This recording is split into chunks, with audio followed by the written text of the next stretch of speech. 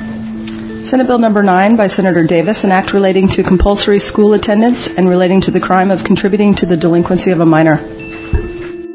Additional discussion, Senator Thomas.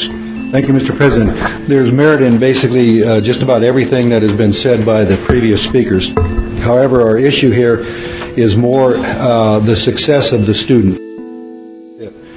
Uh, there's always an opportunity to uh, to get out of school if you want to. Uh, one of the exemptions is for being suspended from school. So simply, if someone does not want to attend, all they have to do is create a couple of infractions.